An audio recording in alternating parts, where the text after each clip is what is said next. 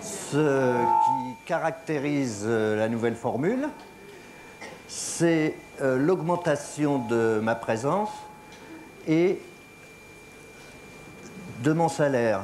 Mais surtout, euh, vous nous avez écrit, on a obéi, l'éviction de Bonaldi.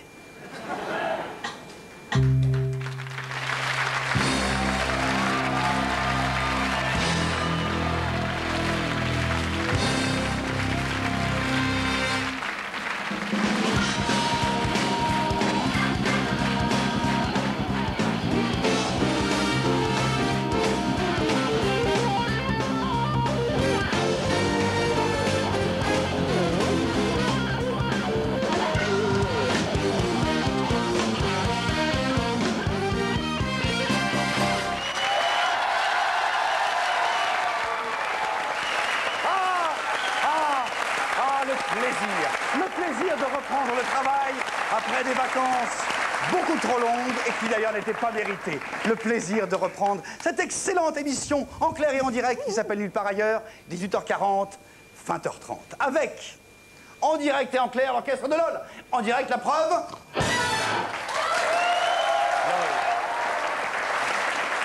Juste encore un coup, LOL avec le public chéri, mon amour, il y a ici le CDTPPPM, c'est-à-dire les types qui font l'inspection sanitaire du personnel navigant de l'aéronautique de l'armée de l'air. Voilà. Il y a une colonie de vacances qui n'est pas réservée aux goy qui s'appelle, je ne sais plus, Yaniv, qui veut dire euh, qui portera ses fruits. Et puis la glorieuse équipe de Nulle part ailleurs, qui a beaucoup changé pendant ses vacances. Vous le reconnaissez à peine? Voici Frédéric Tadei.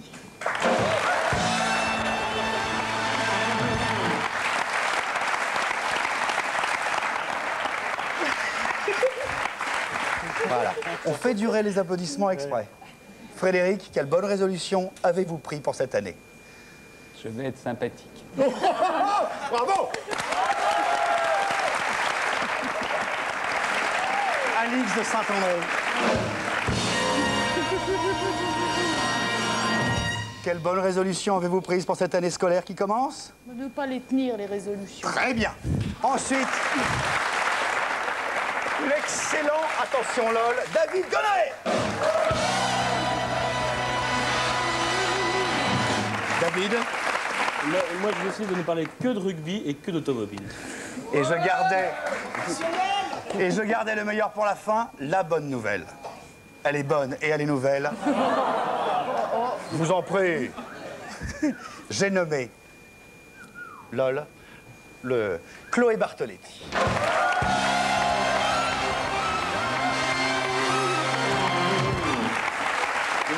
C'est extrêmement simple de faire de la télévision. Il suffit par exemple d'annoncer dans une sorte de sommaire le programme. Nulle part ailleurs, c'est, vous le savez, mieux que quiconque, aujourd'hui plus que jamais, à partir de 19h10, la deuxième partie Nulle part ailleurs avec Antoine de Caunes, non, justement, sans Antoine de Caunes, avec Valérie Payet et Philippe Gildas. Comme invité tout à l'heure, dès 19h10, dans moins d'une demi-heure, patientez, patientez, Christian Clavier. Le toujours jeune Christian Clavier. Toujours jeune, et je le prouve. Avec une pub qui date de 17 ans, 1978. Clavier et ses copains, entre autres Thierry Hermite, vous allez le reconnaître sur la publicité, fait une pub à l'époque, ils étaient au plein splendide, ils allaient faire un an après Le Père Noël est une ordure. Vous allez voir, c'est impressionnant, il n'a pas bougé d'un iota. Il est toujours aussi jeune, la pub elle-même est toujours aussi jeune, oldies, but goodies, pub.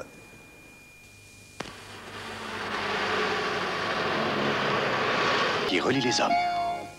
Pas mal, hein? Sincèrement. Le PTT pourrait le reprendre tel quel, ça passerait.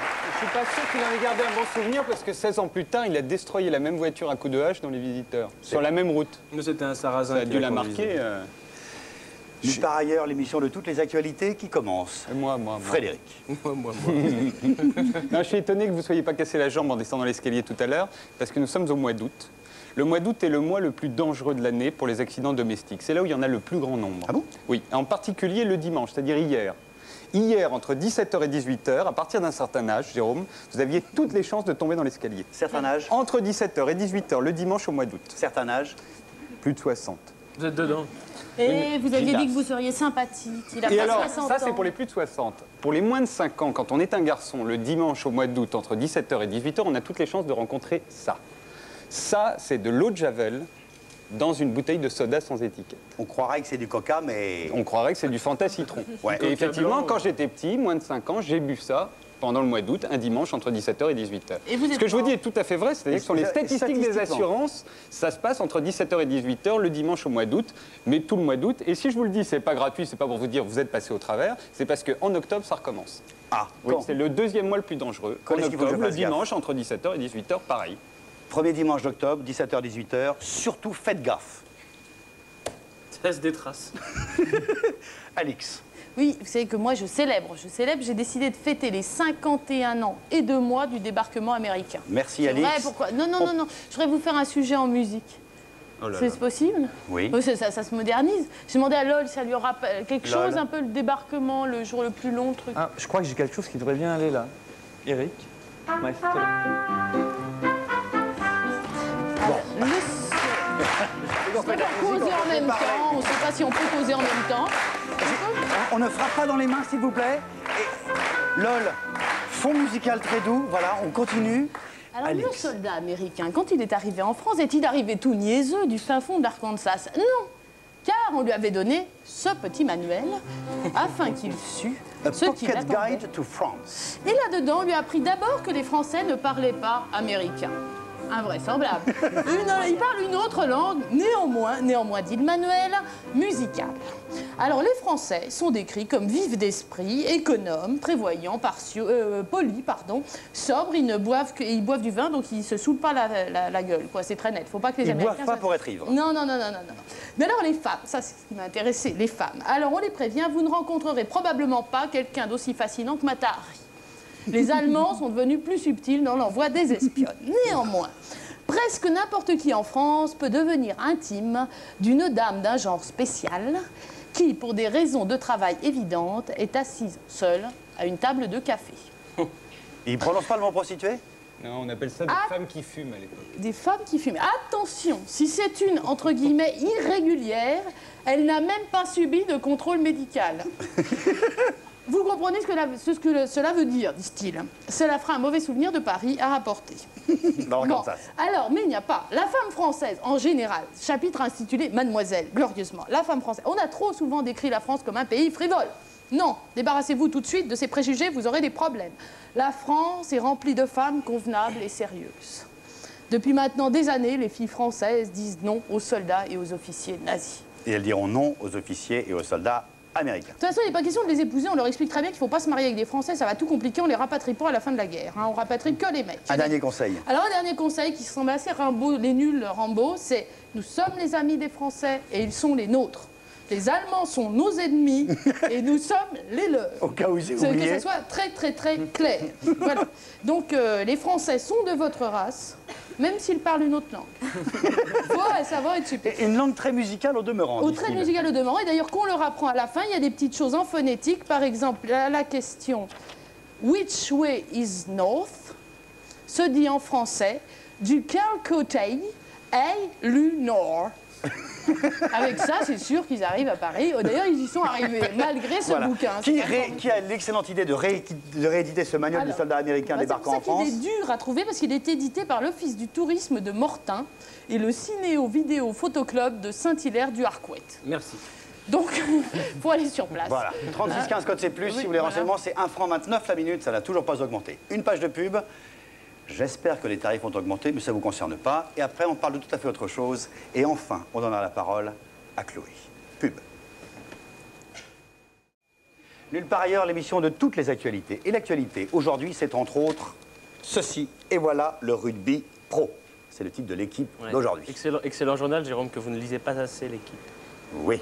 Donc, révolution dans le monde de l'Ovalie. Est-ce que le rugby serait devenu professionnel? Goddamned. Qu'est-ce qui se passe? Lui qui était amateur. En fait, il faudrait plutôt dire est-ce que le rugby, qui était hypocrite depuis des années, est devenu honnête? Racontez-moi, je Parce ne que qu'est-ce qui se passait En fait, cette, cette, euh, cette réforme ne touche que les joueurs de rugby prof- enfin, qui ont joué la Coupe du Monde, c'est-à-dire tous les internationaux, français, néo-zélandais, anglais, etc. Qu'est-ce qui se passait avant? J'étais, moi, fédération, on imagine Alix de Saint-André, joueuse de rugby ayant joué la Coupe du Monde. On imagine parce que c'est, paraît moi, totalement impensable. Je le maillot. Et hein. donc, qu'est-ce qui se passait il y a quelques années? Un petit peu d'argent ici, et la fédération, la fédération disait aux joueurs de l'argent dans le rugby, tu rigoles ou quoi, putain? On joue pour l'amour du maillot, pour l'amour du jeu. C'était impensable. Et puis l'année dernière, donne-moi l'argent s'il te plaît, merci. Et puis l'année dernière, qu'est-ce qui se passe? On a commencé à sortir un petit peu les billets en disant pourquoi parler de l'argent? Oh putain, on en donne un petit peu seulement. Tiens, prendre 200 francs pour acheter le déodorant, pour acheter la mousse à raser. Mais on commençait un petit peu à le sortir. Et cette année, qu'est-ce qui se passe? Enfin, depuis hier en tout cas. Tiens, Alix, c'est pour rester au jeu à 15.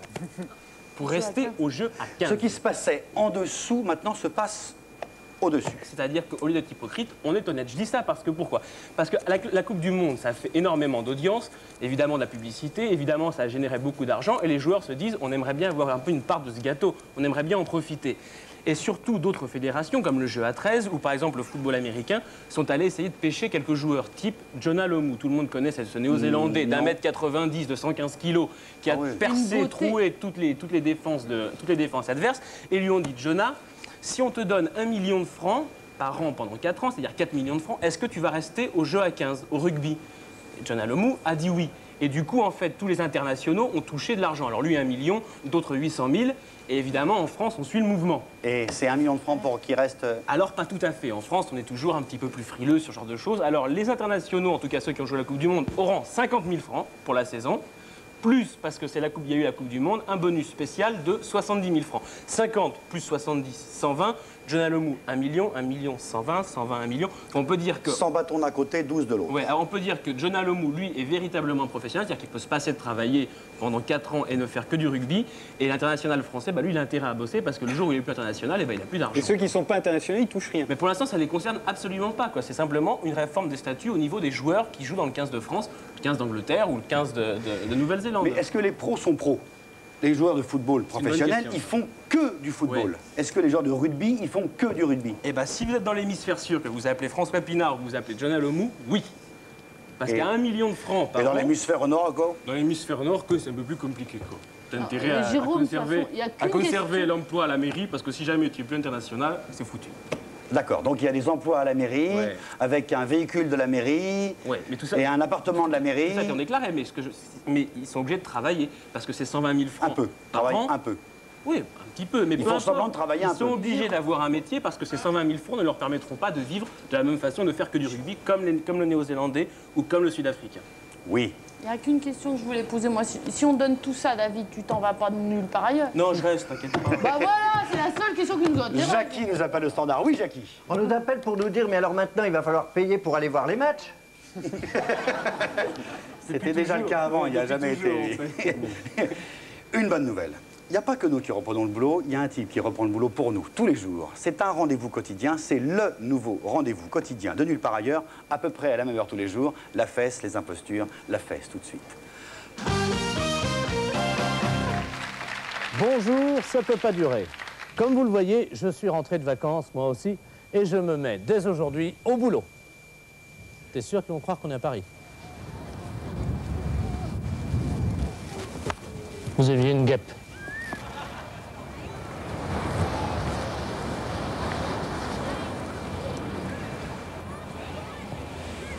Il n'est pas équilibré, regarde. Sans déconner. Eh, plus équilibré que ça, tu peux pas faire plus équilibré que ça. Ça bougera pas. Hein Comment tu me la vends, ce truc-là 3000. Non, pas 3000. 3000. Regarde, il n'est pas équilibré. Regarde Attends, viens, le truc, viens. regarde comment ça bouge. Viens avec moi. Il n'est pas équilibré. Attends, on va boire un coup. Bon, bon, on discute après, on va voir. Là, 3000, euh, faut pas exagérer. Tiens, madame, vous avez perdu une roue. Là.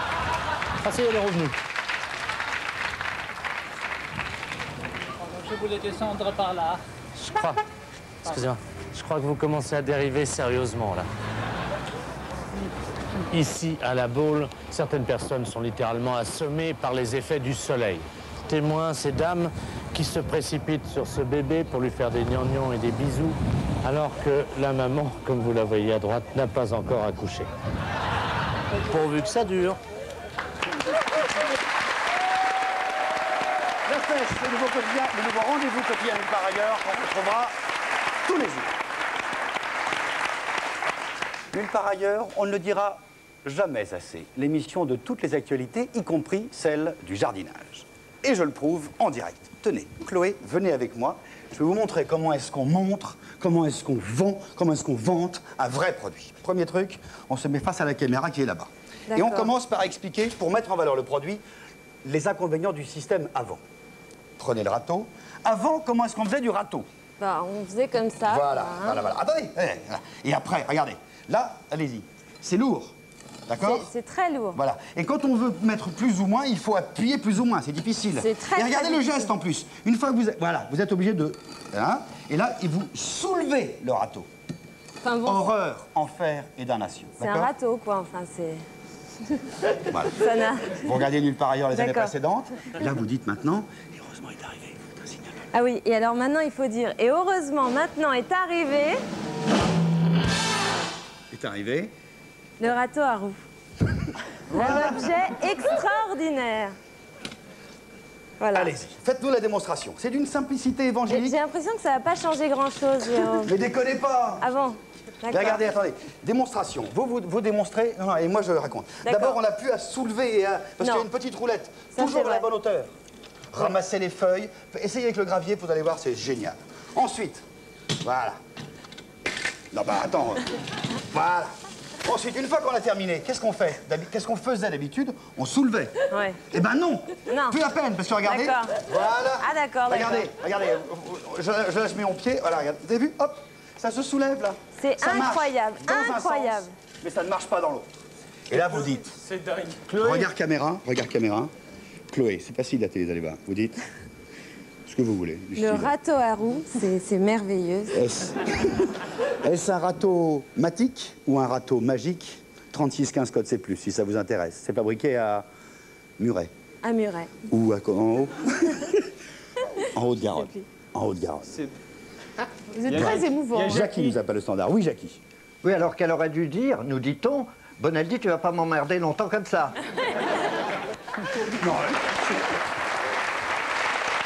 Chloé, Je vais le mettre là. Chloé, rassure-nous, Non, t'as pas lâché un boulot Alors- intéressant pour faire ça. Non, vous n'allez pas le mettre là, votre râteau. Il faut Ça que y est, je sais faire Parce de la faut télé. que je mette mon, mon acide désoxyribonucléique. Là Je suis vachement fière, j'ai appris un mot nouveau. C'est une molécule d'acide désoxyribonucléique. En français, ADN.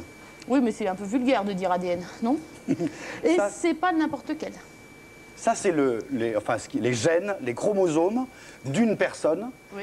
Et que c'est à une personne spécifique et que personne n'a le même. Oui, c'est Surtout comme- votre signature. C'est ma signature. C'est comme les, les empreintes digitales, quoi, c'est comme ça.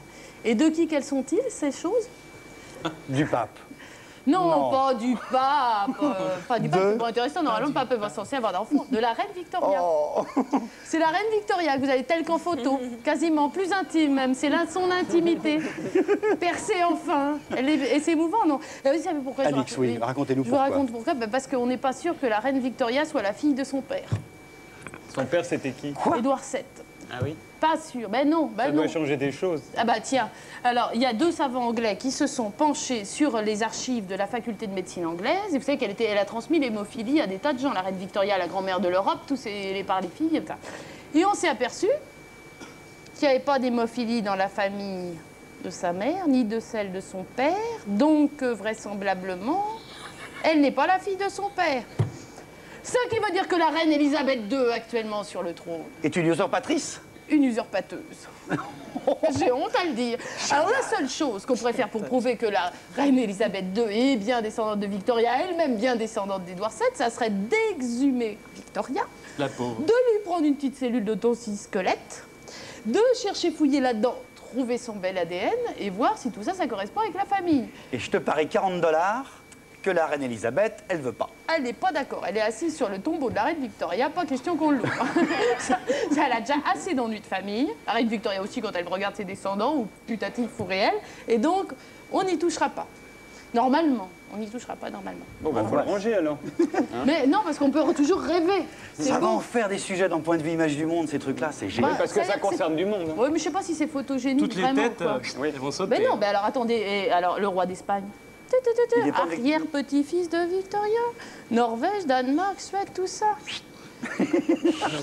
à dégager.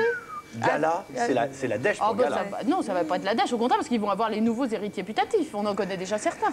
Vous Alix, là, dès qu'il y a du hein nouveau sur l'ADN de la reine Victoria, qui était une... euh, Patrice Oui, c'est comme... Bon, eh ben vous nous donnez des nouvelles. Tout de suite, ce qui s'est passé de nouveau et d'intéressant, comme l'an dernier, comme les années précédentes, sur toutes les autres télés du monde, de France et de Navarre, c'est le zapping. Avec un peu de retard, d'habitude ça sera Oh, léger, 19h, léger, 19h01, pas plus. Le zapping, tout de suite. Venez à moi. Voyez cette femme. Aie pitié d'elle. Aie pitié d'elle. Je t'ordonne. Je suis le maître, je suis le plus fort. Je t'ordonne.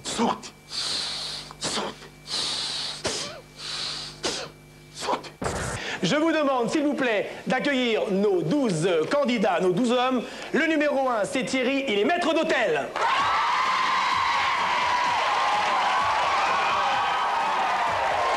Bonsoir, charmante demoiselle. Aujourd'hui, c'est mon anniversaire.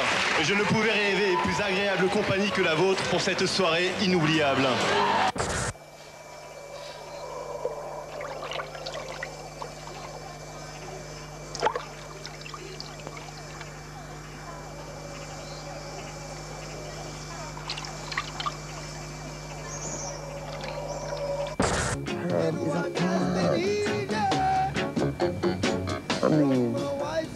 Are good for everything.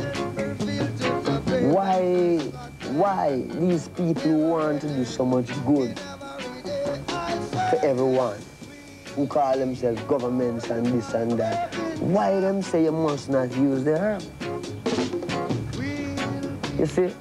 And we take that and we can't find, we just see them just say, no, you mustn't use it, you mustn't use it because it make you rebel. Kawaii, Kimini, Koeo, Kakete, Konnichiwa, Bokuto, Yukimasho. Oh, Champs-Élysées. Oh, Champs-Élysées. Sonnenschein, Regenregen, ganz egal, wir beide sind so froh, wenn wir uns wiedersehen, nos Champs-Élysées. Ensuite, on commence, on juré. par défaire tout ce qui sert. Excusez-moi, mais le soutien-gorge serre un peu, on le un peu pour Ouais. éviter. D'accord. Ah oui, on bah oui. regarde si les ceintures ne sont pas trop serrées également. hein. Ne vous effrayez pas. À Malakoff, Léon Pitot, 43 ans, a décidé de battre un nouveau record mondial. Il va parcourir contre la montre Paris-Lille, soit 250 km sur le dos de sa sœur jumelle Amédée Pitot. Entouré d'un groupe d'admirateurs, il prend le départ à l'aube près de la porte de la Villette. Dès le départ, encouragé par la foule, Léon Pitot, en parfaite disposition physique, semble se moquer de l'effort considérable qu'il aura à fournir. Malheureusement, la ténacité et les encouragements de Léon Pitot ne suffisent pas à soutenir le moral de sa sœur, moins résistante que lui. Et celle-ci, à bout de force, ne pouvant supporter les dénivellations des pavés du Nord, les chevilles complètement meurtries, abandonne la course à quelques mètres de l'arrivée. Avant d'être chanteur, j'ai commencé par être marin, PV, dessinateur, guitariste, assistant de directeur artistique, compositeur, et puis après escroc, quoi, c'est-à-dire chanteur. Ouais, ça parle un peu. Tous les jours en clair, en direct vers 19h à peu près. Frédéric Tadei Si vous êtes comme moi, vous faites peut-être encore partie des gens qui se demandent qui est cette Louise Bourgeois, à qui le musée d'art moderne de Paris consacre une rétrospective, qui est également à Beaubourg, qui est également à la Bibliothèque nationale où on expose ses gravures. Qui est cette Louise Bourgeois Sincèrement, Oui. il y a, il y a deux semaines, je ne le savais pas. Et je crois que 99% de la population française Vous voulez ne dire savait qu'il y a pas. deux semaines, le- depuis deux semaines, tout le monde le sait Oh, un peu, ouais, parce qu'on a lu les programmes télé. Oh là là, est-ce que vous êtes agressif? Moi qui ai décidé d'être sympathique. Bref, Louise Bourgeois, qui a 84 ans, est une sculpteur d'origine française, complètement inconnue en France, mais superstar aux États-Unis. Et alors, elle est célèbre parce que ses, ses sculptures sont à forte connotation sexuelle. Ah, Sec- je me demandais pourquoi ça l'intéressait, Alice Bourgeois. Exactement. Regardez. Sexuelle. J'ai dit sexuelle. C'est pas vrai. C'est vrai, ça dépend de qui le dit. Oui. Mais si on me le demande à moi, eh bien, je, di- je dirais, bah, peut-être que c'est sexuel, mais c'est pas sexuel par, ex- par, par, euh, par exprès. Peut-être par accident. Mais il y a des accidents qui arrivent par exprès, on ne sait jamais. Hein. on ne sait jamais. Et cette forme. Quinze Non, c'est tout, alors moi je m'en vais, c'est tout. Non, non, mais non, je m'en vais, moi. Si, si on essaye de, de me pousser à ce point-là, je m'en vais. Je te dis de venir, vous viens pas. Vous voyez là son caractère. hein. Son caractère. Alors hein. c'est extrait de Elle peut Cher pas répondre Louise. à la question, elle s'en va. Oui, oui, c'est extrait de Cher Louise, qui est un documentaire de Brigitte Cornan consacré à Louise Bourgeois, qui passe encore demain sur Canal Plus à 15h30, je vous le recommande. Et alors, je vous rassure, elle n'a pas fait que des sexes en érection, elle a fait aussi quelque chose que je vais vous montrer là. Euh, voilà, elle a fait ça. Et puis Ouais. elle a fait aussi le suivant, voilà, elle a fait ça. C'est les seins de la reine Victoria. Voilà, et elle a fait encore un autre, voilà. Ça, c'est un Janus. Non, c'est très joli, Louise Bourgeois. Vous pouvez le voir encore jusqu'au 8 octobre au musée quoi, de. le C'est un Janus, c'est le futur et le passé. Mais en fait, ça ressemble ça- quand même ça beaucoup à un rappelle quand phallus. même hein. un zizi. Elle est, c'est une personnalité très intéressante et si vous avez l'occasion de le voir demain, c'est un le documentaire est très très bien. Voilà, c'était Louise Bourgeois. Je suis content parce que maintenant je sais que Louise Bourgeois c'est une sculpteuse. Voilà. Sculpteur, sculpteuse, sculptrice? Comme vous voulez. Sculpteur. Euh, Chloé, Oui. un truc, allez. Bon, un petit truc rapidement parce qu'on est un petit peu en retard. Oui, mais pour vous, on n'est jamais en retard. Bon, alors vous m'avez laissé présenter ça.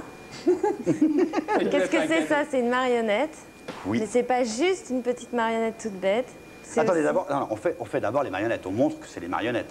Faites-nous un pestacle avec Alix. Voilà. C'est Bon. Voilà, enfin. Donc, ce sont des C'est marionnettes. des marionnettes, quoi. Mais ça peut aussi devenir un élégant chapeau, un peu grunge, pour aller faire du ski ou du surf. Ouais. L'été, Oh, Frédéric, l'hiver. Mais C'est si vous avez décidé d'être sympathique, Frédéric, il faut Il est mettre ça. faut il a pas une me tête provoquer Frédéric non est plus. Il a une sympathique tête et à change de chapeau, look. il est très beau Voilà. avec une tête à chapeau. C'est ah, ça lui va bien. David n'aurait pas une bagnole à montrer par hasard David.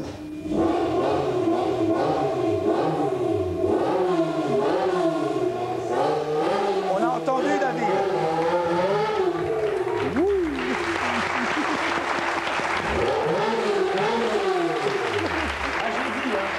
J'ai dit cette année, je ne parle que de voitures et que de rugby.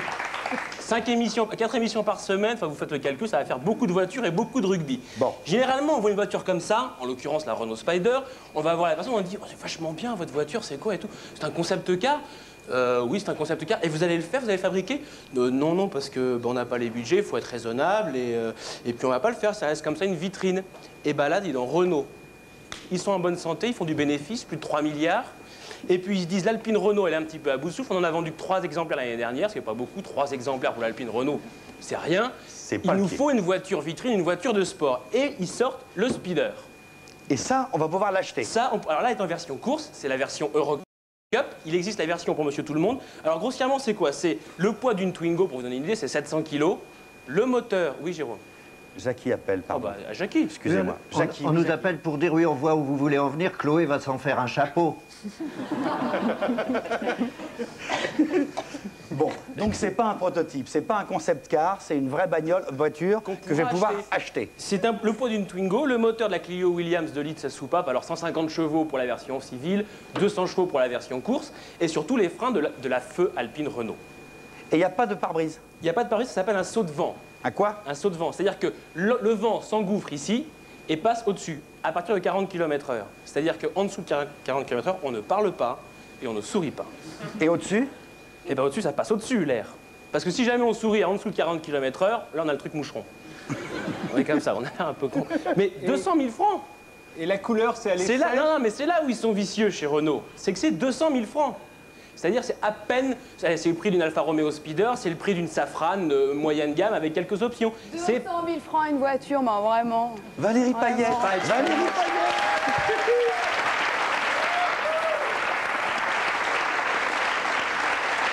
Le vieux principe policier est toujours vrai, l'assassin revient toujours sur le lieu de son crime. Valérie, c'est la deuxième partie. Et elle commence à 19h10 et il est 19h11, d'accord Eh ben Donc on a décidé toujours en retard, parfait. un petit peu comme d'habitude, on n'a pas changé les bonnes habitudes. Valérie, dans moins de deux minutes, après Bruno Gassio, la pub Bruno Gassio, Ouais. Valérie, Philippe Gildas Christian et Christian Clavé. Merci, à demain, bye bye, peut-être demain. 8h40, ciao. Ça va?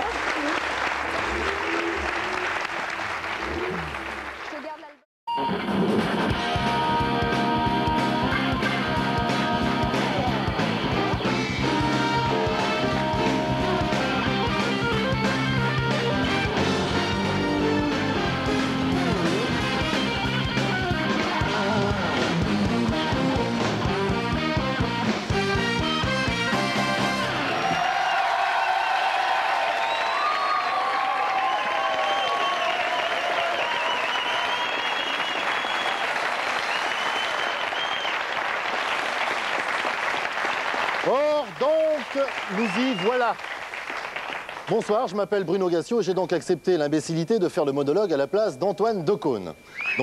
Ah bah pourquoi? Ah bah, non, bah non, attends, je vous remercie. Je vous remercie, c'est plaisant. Donc j'ai accepté pour le monologue, par contre le costume, je suis moins sûr. hein. Si on pouvait éviter le costume, il y a aussi un truc que je voudrais pas faire, si c'était possible, je voudrais pas être obligé de faire du vélo. Parce que visiblement, ça développe que le bas, le vélo. hein. Il y a pas de- Tu vois, on se dit, on avait l'impression qu'il était costaud quand même, mais il était quand même pas si costaud que ça, de cône. hein. Il y a des petits trucs comme ça. Euh, par contre, euh, je tiens aussi à rassurer le syndicat d'initiative de Trouville. Je continuerai à faire de la publicité pour votre riante petite cité. Voilà. C'est vrai que c'est un coin agréable, Trouville. hein. Et puis tant qu'à faire de se baigner dans les égouts, autant que ce soit chez vous. Sans arrêt, en mettait. Non, c'est vrai, il fait moins chaud que sur la côte d'Azur, il y a moins de mouches. Non, non, non, non, non. Je s'en fout. Je suis pas à l'aise. Je suis pas à l'aise, voilà. Voilà, enfin, en tout cas, Antoine est donc parti, il est allé faire du cinéma. Enfin, du cinéma. Pour l'instant, il tourne un film avec Smaïn, Mallory Nataf et Ariel Dombal. Mais peut-être qu'un jour, il fera du cinéma, on sait pas. Enfin bon, non, non, non, non, non, non, non, non, non, c'est bon. Surtout quand on sait ce qu'il disait d'Ariel Dombal. Enfin bon. J'ai les documents, il y a tout ça. Bon, je suis pas du tout à l'aise avec ça. Je suis d'autant moins. En plus, quand je fais ça, on voit pas qu'il manque les boutons. Il était même, même frêle du bas, tu vois. Mais enlève-la. Quoi, la veste? Oui. Ah oui, la veste. Ah bah non, je ne peux même pas me déloquer. Montrer ses fesses le premier jour, ça la fait pas. Non, je disais, je suis d'autant moins à l'aise que, comme ça, ça fait un peu. Je vous sers quelque chose, un café. On voit pas le bas, le bas c'est bien aussi. Le bas, je sais pas si on le voit, le bas. Non, mais, mais on n'a rien touché, c'est vrai, c'est le vrai costard. Je suis d'autant moins à l'aise que c'est Christian Clavier, l'invité, que nous recevons, parce que, monsieur Clavier, vous avez perturbé ma vie. Vous faites, euh, enfin, je fais personnellement partie de l'ADCQN PRAV. C'est l'association de ceux qui n'ont pas ri aux visiteurs. Non, je, de la chance. non, non, je vous rassure Je tout de suite. sur lui. On n'est que deux. Il n'y a que moi et le trésorier, qui est sourd et aveugle. Donc ça ne devrait pas poser. On n'est jamais trop prudent. hein. C'est pour ça qu'il est trésorier, le mec. hein. Du coup, je me suis demandé si j'étais normal. Et 2 millions contre 14 millions, 2, pardon, contre 2 millions de spectateurs, je vais la remettre la veste. Forcément, ça fait problème. Donc j'ai demandé à des spécialistes comme euh, Philippe, comme Valérie, ce qu'ils en pensaient. Et ils m'ont répondu qu'en matière de succès, c'est le public qui a toujours raison. Et c'est vrai qu'en télévision, c'est flagrant. Le public a toujours. J'arrive pas, je suis pas à l'aise. Bon. Par exemple, en télévision, c'est flagrant. L'émission la plus regardée à la télévision, Philippe, c'est quoi? Nulle part ailleurs. Non, c'est le, c'est le tirage du loto. C'est le tirage Ouais, du ouais. loto, parfaitement. C'est bien la preuve quand même. C'est quand même la meilleure émission de télévision. Ça fait pas prétentieux, il y a du suspense, la musique est bonne, on connaît le mobile, l'argent, on connaît le coupable, l'État, on connaît les victimes, c'est nous. En plus, il y a des boules et c'est pas dégueulasse, donc on peut. C'est quand même, c'est bien foutu, c'est bien foutu. Mais bon, nous ne sommes pas là pour parler de ça. Dans Panique au Plaza, qu'il va jouer à partir du 26 septembre au théâtre Marigny, Christian. Clavier interprète, je vous en prie, je suis là pour ça. Merci, là, un là, attaché on commence à écouter, là, fou. Hein Pardon? Non, bah, allez-y, allez-y, mon vieux. Non, non, mais je- si vous avez quelque chose à dire, vous êtes, c'est vous Non, non, je dis, euh, Non, 26 vous jouez bien. septembre, Panico Plaza, c'est bien. Ça s'appelle pas Panico Plaza? Si, si, Panico Plaza. On l'a bien répété cinq fois là. Voilà, bah, c'est bon. on peut y aller. Et vous? Et si je ne me trompe, vous, a... vous interprétez un attaché de presse du gouvernement Juppé. Non, non, non, un attaché, euh, un secrétaire euh, d'assemblée d'un ministre du gouvernement Juppé. Voilà. Voilà, donc vous n'allez pas le jouer très longtemps, votre truc. Ah, bah Nous, ça, D'après notre service politique, on dit jusqu'à Noël à voilà, peu près. Voilà, mais- En plus, Merci pour eux. Merci pour. Non, mais on va coller l'actualité au maximum. Si jamais ça change, bah, le ministre va changer de gouvernement. Quoi. bah voilà, ouais. De toute façon, vous ne vous appeliez pas euh, Madeleine, un truc comme ça dans la pièce. Non, non, non, pas du tout. Non, pas du tout. Non, mais ça va, ça va. Et en plus, si j'en crois le dossier je de presse... m'appelle Bono, donc Bono. pas dans ça. Ah bah voilà. Donc, si j'en crois le dossier de presse, en plus, c'est une pièce un peu à clé. Il y a un personnage qui, s'a- il y a un personnage qui s'appelle Ségolène euh, Benamou. Benamou. Ségolène Benamou. Oui. Bon, mais ça, c'est clair, ça se voit, elle est dans l'opposition. Ségolène Benamou, c'est gros comme une maison, c'est Roger Hanin. c'est- Ah, Non, non, c'est c'est- c'est Oui. énorme. Oui, il, y a aussi, il y a aussi un truc qui est très très bien, il faut aller voir cette pièce, c'est l'intrigue. Je vous en lis un bout parce que là, je n'ai pas résisté. C'est- Je tiens toujours ça du dossier de presse.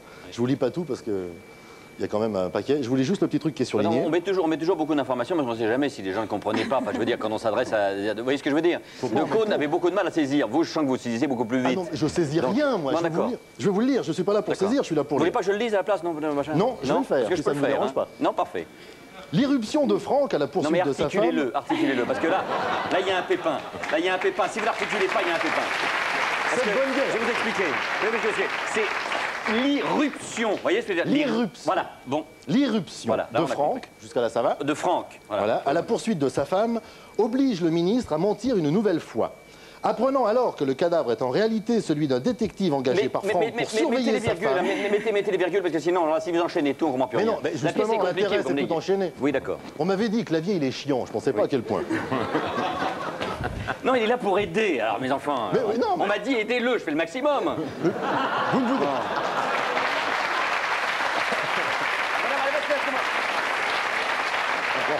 Avant l'émission, non mais savez, avant l'émission, on me dit aidez-le, il est au cabinet depuis 4 heures de l'après-midi. J'ai dit d'accord, je vais essayer de l'aider. Soyez gentil, Christian. Surtout, n'aidez pas Valérie pendant le reste de l'émission. D'accord, ça nous merci, il rien. pas de problème. Où j'en étais, voilà. oui, ça, c'est non, laissez tomber, c'est Non, non, non, non, non, non. Je vais leur expliquer, moi. Il persuade le mari, fou de jalousie, que l'amant qu'il cherche est en réalité Jean-Louis Bonneau. C'est moi. C'est dit. Tout en désignant Jean-Louis sous le nom du docteur du détective qu'il faisait passer pour son frère. Voilà. Qu'est-ce que je viens de dire Non, mais voilà, il faut aller voir la pièce. Absolument. Donc, voilà. Alors donc, Philippe Valéry, votre mission, si vous l'acceptez, consiste à faire comprendre à ce public qui ne se trompe jamais les tenants et les aboutissants de cette intrigue. Quant à moi, je vais essayer de revenir demain avec un nouveau costume. Oui, Merci.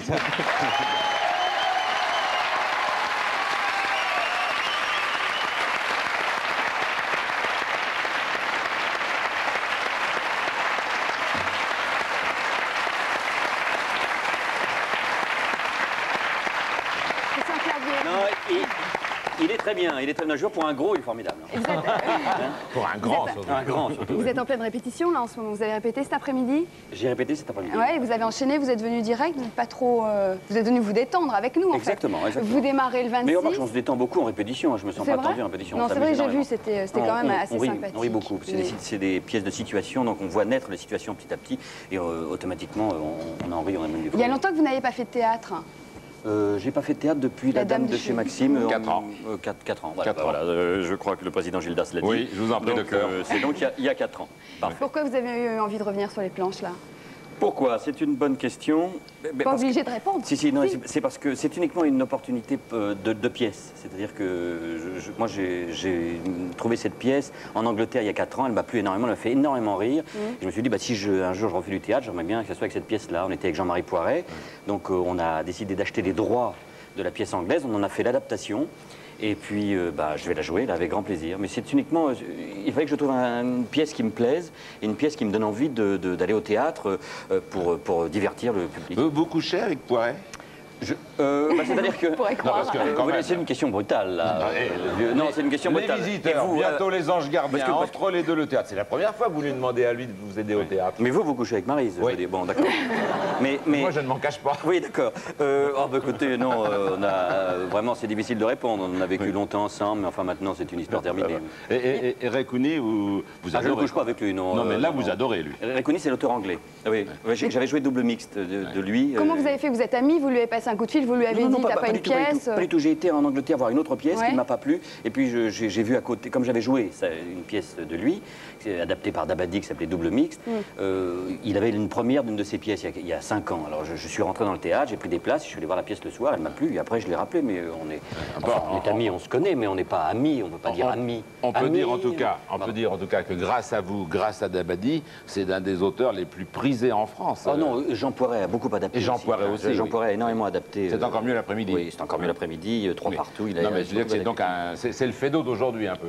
Oui, c'est tout à fait un félo d'actualité. Il voilà, n'y a pas pièce. Contemporains français qui font du vaudeville Si, si, si. bah, Si, euh, euh, C'était plus pratique pour nous parce que, comme j'ai écrit beaucoup de films avec euh, Jean-Marie Poiret, et qu'on était euh, écrire des films nous prend beaucoup de temps. Trouver cette pièce et simplement l'adapter, c'était un travail beaucoup plus court. Sinon, euh, on, on se- on aurait volontiers fait une pièce. On va faire davantage connaissance Vous avec vous maintenant à- avec Agent Télé. Ah, pardon, je c'était un caméraman. Je dis ça Avec par mal. aussi, parce ouais, que je connais son mari, donc c'est embêtant. Bonjour. On va parler de vous avec Jean Télé. Enchanté. Vous connaissez Oh, bah, très, bien, Je- je- Jean Télé s'occupe de la bourse, c'est ça Qui a Oui. beaucoup baissé aujourd'hui Question gentille, je crois. D'accord. Et puis, euh, question vache. Oui, Ce matin, vers midi, je suis allé me promener dans Paris. Et C'est- puis, c'est euh, dégueulasse, C'est hein, un la peu ça. première. Et il y a énormément de poussière. oui, Moi j'ai remarqué c'est ça aussi, parce que c'est un machin. Non, c'est embêtant d'ailleurs. Oui, parce que je me demande si sur ma chaise, il n'y a pas la même chose. Pendant que vous faites le ménage, euh, Berroyer, M. Jackie a quelque chose à dire. Oui, on nous appelle pour dire, on dirait pas que Tolé a pris le costume de Philippe Vandel. Oui, euh, vous Donc, dire, oui. euh, vers midi, euh, je Oui. suis allé me promener dans la rue et j'ai vu des gens qui revenaient de vacances et je leur ai demandé s'ils voulaient bien vous poser une petite question gentille ou une petite question vache. Moi, j'aurais préféré qu'ils vous assassinent un peu. Et en fait, ils ont plutôt été sympas, même dans les questions Non, mais les vaches. gens sont gentils. Oui, et pourtant, les vous ne méritez pas. hein. Oui. Alors, qu'est-ce que vous voulez Une petite question gentille ou une petite question vache? Ah, ben, moi, c'est comme vous voulez, c'est pas vous qui Bah si, euh, moi, je- bah, ou une petite gentille, oui, j'aime bien choisir. La, la première, tiens, il y en a une que j'aimerais bien que vous ratiez pas, c'est la- le numéro 2 de Virginie en gentille, par exemple. Pourquoi elle a numéro 1, Virginie, en Euh, gentil non, parce ah qu'il y a ah le pardon, un, je comprends pas votre truc. enfin, voilà. Bon, alors je prends voilà. le numéro 2. Mais si vous voulez, hein, le numéro faites 2, comme vous voilà, d'accord, Mais voilà, j'aime numéro bien 2, cette j'ai pris. question. Numéro 2. Et ça, je vous le donne la boule. Non, vous. ouvrez, il y a un prénom, enfin bon, Ah, d'accord. vous regardez jamais. De Virginie, Voilà. voilà. il l'a dit, donc de Virginie. C'est-à-dire que là, on progresse à mort, il y a un rythme fou. Je pense que De Cône se frotte les mains, là. hein. Alors, Virginie, j'ai bien aimé parce que c'était une jeune fille qui était assise mélancoliquement sur les marches. Non, pas du tout, pas du tout, pas du tout. vous l'avez draguée ou Ah, pas pas Non, du pas tout. du tout. Elle était assise mélancoliquement sur les marches d'une église et elle attendait quelqu'un qui n'arrivait pas. Et alors, je suis allé la voir et je lui ai dit, en attendant, est-ce que vous voulez pas poser une petite question à Christian Clavier? Et elle a dit, ah bah oui, je lui poserais bien une question qui a à voir à la- avec l'enfance. Avec l'enfance L'enfance, Ah, l'enfance. L'enfance. Eh bien, alors écoutons Virginie Voilà. 2.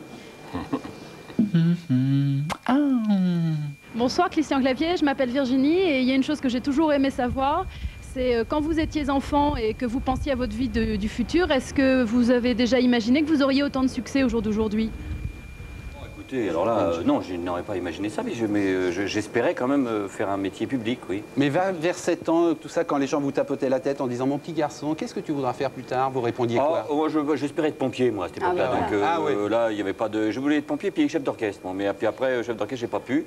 Euh, alors voilà, mais ça pompier fait non comme ça. Et pompier non plus, parce que j'ai eu les jetons de- de- du feu. Donc, euh, Il a voilà. même essayé Sciences Po. Donc euh, voilà, j'ai même Et à quel âge vous avez commencé à avoir envie de jouer, de, de faire l'acteur? Oh, écoutez, bah, c'est quand j'ai rencontré Junio. Ah, ça, donc c'est au c'est lycée. Oui, en, c'est en- adolescent. en- en quatrième. C'est parce Ah, ouais, qu'il oui. avait des cheveux à cette époque-là. Et euh, je- je- non, c'est vrai, c'est vrai. J'ai- En quatrième, euh, j'ai fait une très mauvaise quatrième, mais on s'est beaucoup amusé. Donc j'ai eu- me suis dit que c'est- voilà, il y avait peut-être des possibilités ailleurs. Jackie. Monsieur Jackie. De Nadège de Rouen, une question vache. Est-ce que ce succès doit te- t'empêcher de payer la pension alimentaire?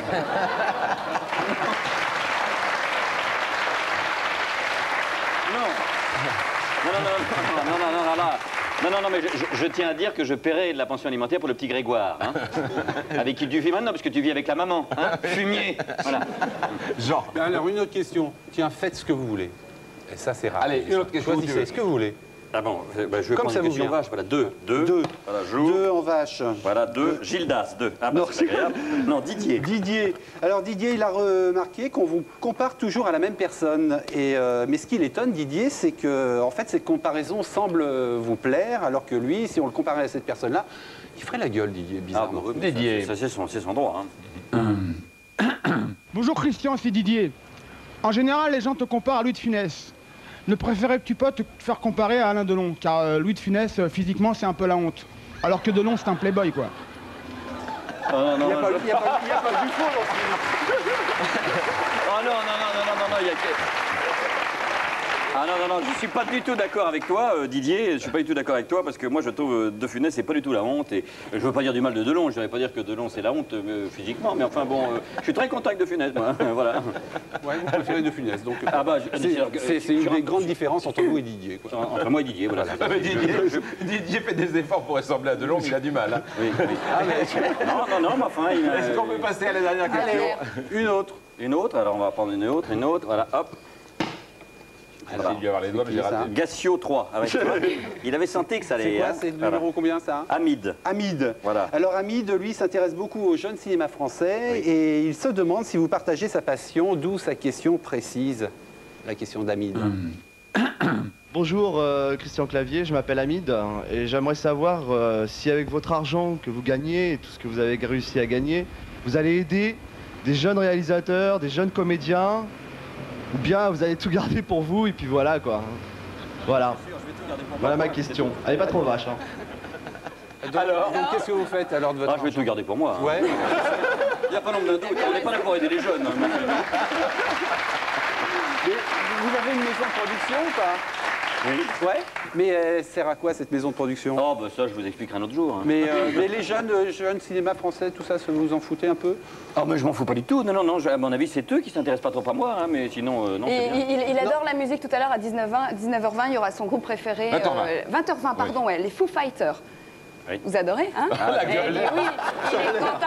Non, mais je Il- connais pas, donc... Si, je- si, vous allez voir, c'est comme ah, ça. oui, formidable. Et, euh, les Foo Fighters, c'est quoi? C'est les fusées folles Oui, oui, voilà, c'est ça, un tout machin à fait. avant, d'accord. ouais. oui, très bien. Et, euh, et voilà, ils seront en direct live euh, sur le plateau. Bon, pour Hein l'instant, Jean, merci. Merci, merci Jean, merci infiniment. monsieur. Et puis voilà, bon, ça, ça nous a Et dans quelques minutes, on passe euh, à l'actualité avec Aude Morakini. Voilà, merci.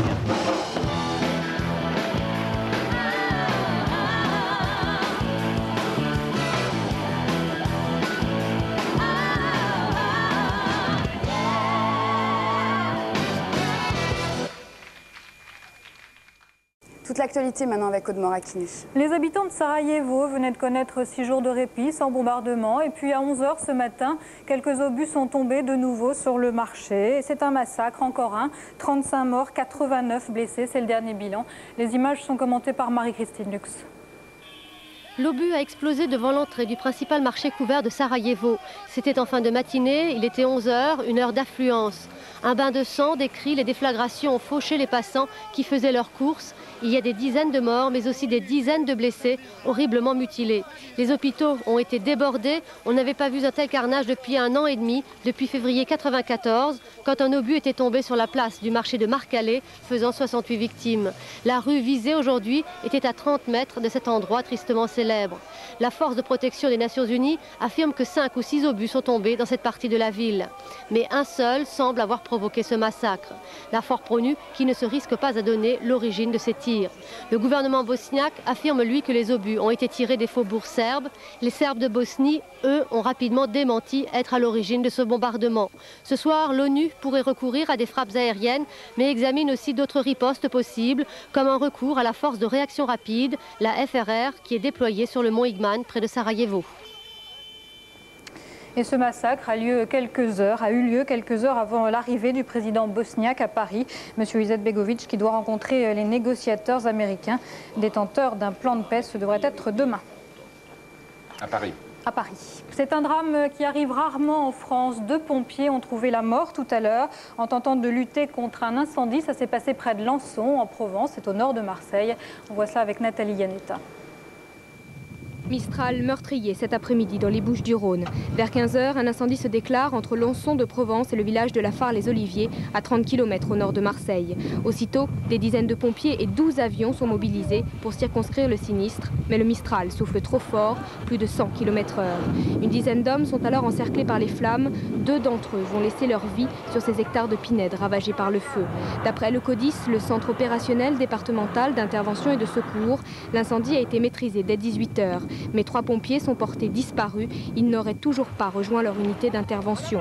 Ce feu a détruit plus de 80 hectares de végétation et c'est le plus important incendie de forêt qu'ait connu la Provence cet été.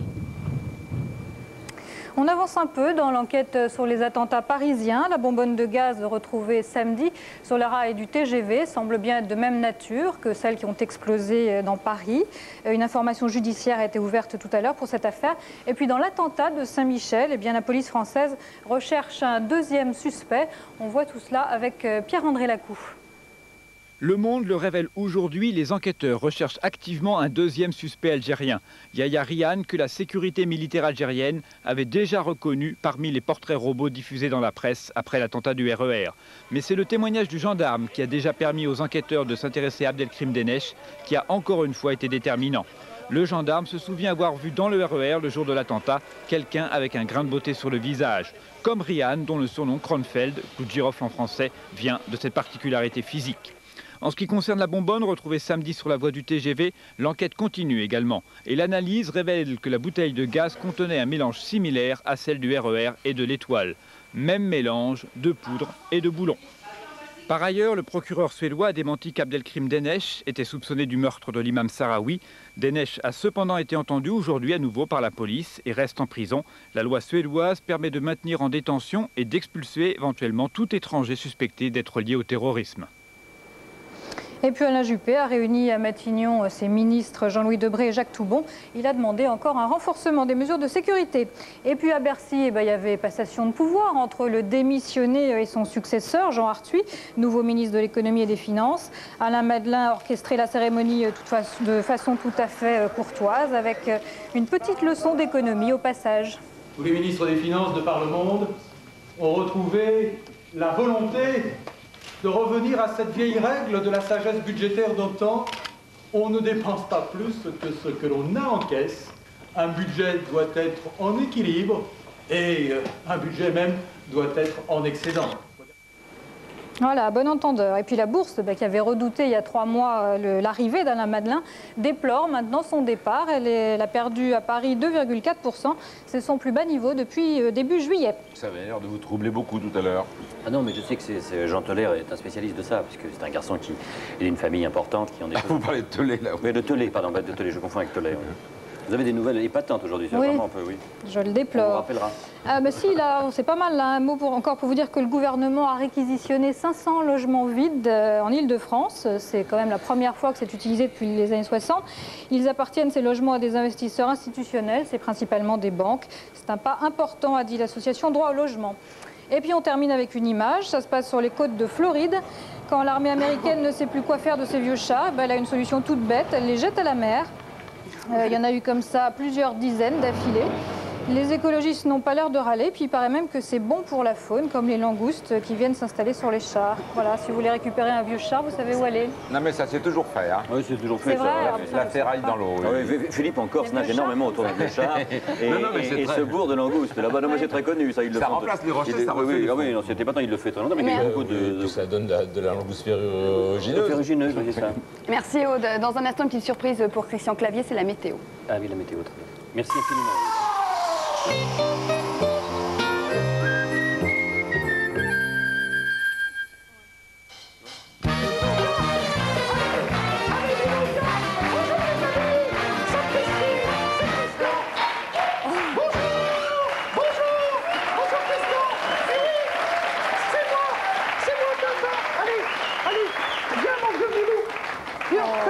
le confie Oh non, mais ce pauvre chien, vous allez le... Oh là là, regarde-le.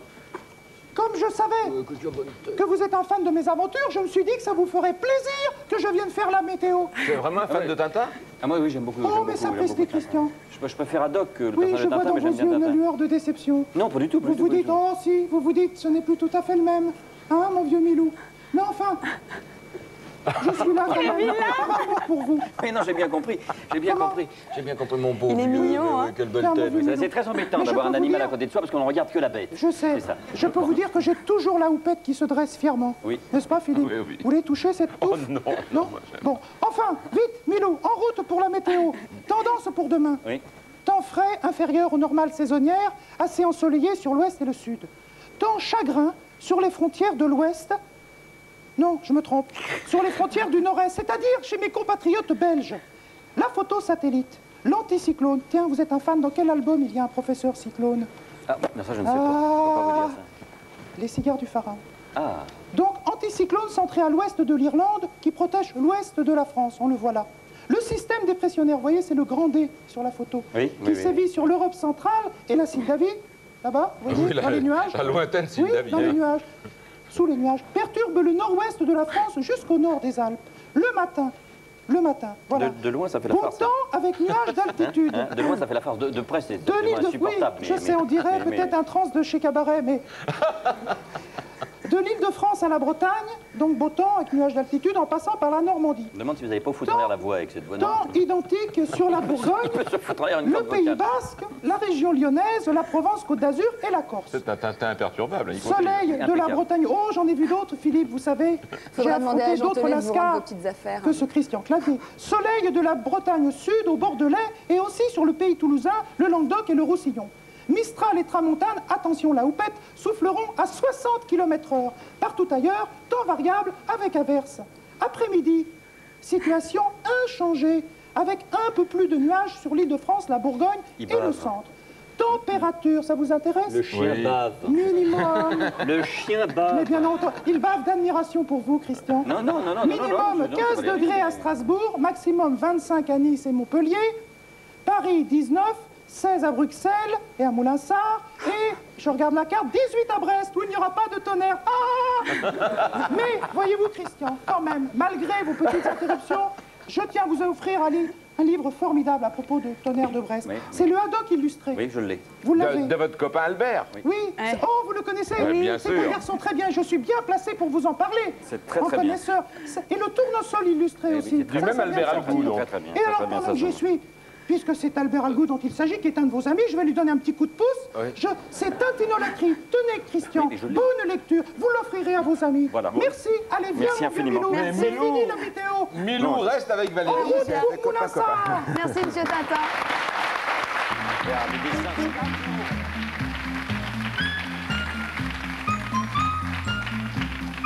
Somfy, automatisme pour Star.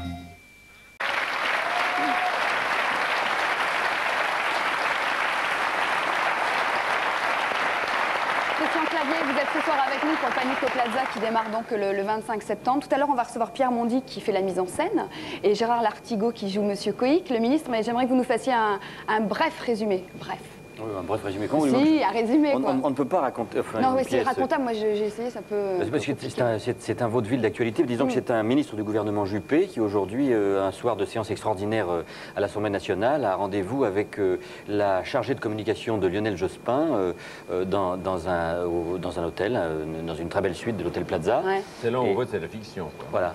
C'est là où on voit que c'est de la fiction, oui, bien sûr. Et, Comment euh, vous croyez que Bah, la- la- les dames de gauche... euh, Mais bien sûr. Je ne sais pas. La en tout cas, ils ont rendez-vous là et puis euh, et puis ben, il y a un problème, euh, c'est qu'ils découvrent sur leur balcon euh, euh, un corps. C'est un, un homme Un qui mort, est un, ouais. un mort, quoi, un homme qui est mort. Donc là commence une nuit absolument infernale. Voilà, c'est- un peu la tour infernale en comics, si vous voulez. C'est pas une pièce politique. Pas du tout, non, c'est pas du tout une pièce politique, c'est une pièce absolument pour divertir. Mais ce qui, ce qu'il y a d'original, et moi ce qui m'a plu quand j'ai vu, j'avais vu la pièce en Angleterre, c'est que euh, il est ministre. Alors plutôt qu'il soit ministre d'un gouvernement X qui n'existe pas, il est ministre du gouvernement d'aujourd'hui, dans la France d'aujourd'hui. C'est bien que vous citez Juppé sans arrêt. Oui, bien sûr, on cite JP, Et vous on, avez le on droit de cite faire ça parce que- Jospin, on cite... Emmanuel- Ah bah je ne sais pas si on a le droit. Ah. On verra bien. En tout cas, manifestement, la démocratie anglaise l'avait euh, supporté. On verra si... euh, Est-ce ce que qui ça vous choque.